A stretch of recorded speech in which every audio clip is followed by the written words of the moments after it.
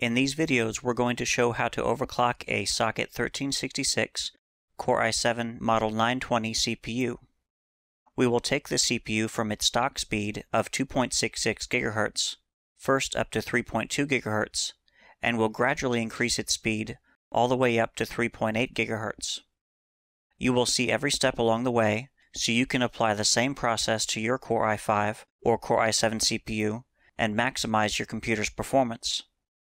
Before we get into how to overclock a Core i5 or i7 CPU, we need to first understand some basics of how a CPU speed is determined.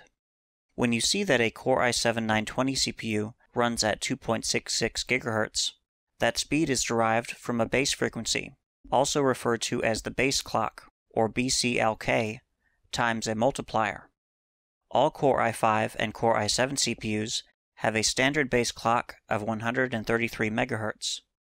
In the case of the Core i7 920, the multiplier is 20. If you multiply 133 times 20, you get 2660, or 2.66 GHz. Here's a list of all the current Core i5 and Core i7s with their standard base clock and multiplier at stock speeds.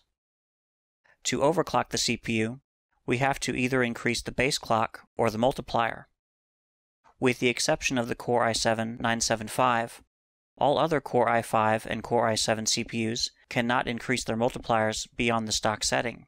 You can lower the multiplier, but increasing it beyond the stock setting is not possible, except in the case of using turbo mode, which we'll talk about later.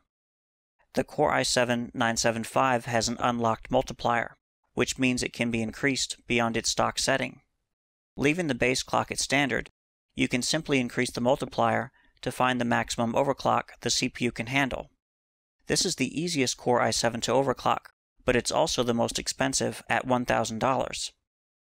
What we're going to do is take the cheapest socket 1366 Core i7, the 920, and show how to overclock it by increasing its base clock. We will make it faster than the 975 for $700 less.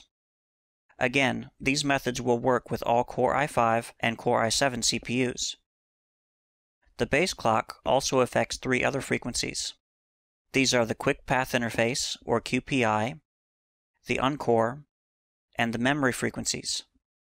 The QPI is what connects the CPU to the rest of the motherboard. The Uncore is everything on the CPU that is not the CPU cores. This includes the cache on the CPU and the memory controller on the CPU. The memory frequency is just what it sounds like. It's the frequency the memory runs at. Typically, this is 1066, 1333, or 1600 MHz. By increasing the base clock, we will be increasing the frequencies of these other components. This could result in overclocking these components to the point where they cause the system to be unstable before the CPU can reach its maximum overclock. Fortunately, each of these components have their own multiplier that we can set.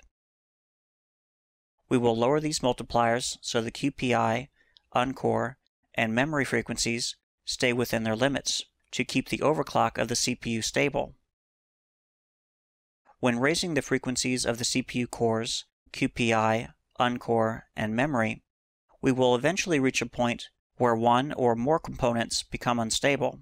To combat this instability, we will increase the voltage to one or more of these components. The increased voltage will help stabilize the component. There are four voltage settings we can change to help improve the stability of the overclock. These are the processor core voltage, which is the voltage going to the CPU cores themselves, the uncore voltage, which is for the QPI and CPU cache, the memory voltage, which is the voltage going to the memory itself, and the CPU phase locked loop, or PLL which is a control system for the CPU. This is a list of each component's standard voltage and the maximum safe voltages for each according to Intel. By raising the frequencies and voltages, we will also raise the temperature inside the CPU. Depending on the cooling you have for your case and CPU, as well as the ambient room temperature, at some point the increased heat may be too much for the CPU to handle. To push the CPU further, we would first need to improve its cooling. In the next lesson, we will run some tests on our CPU at stock settings to get a baseline for how well it's being cooled and performing.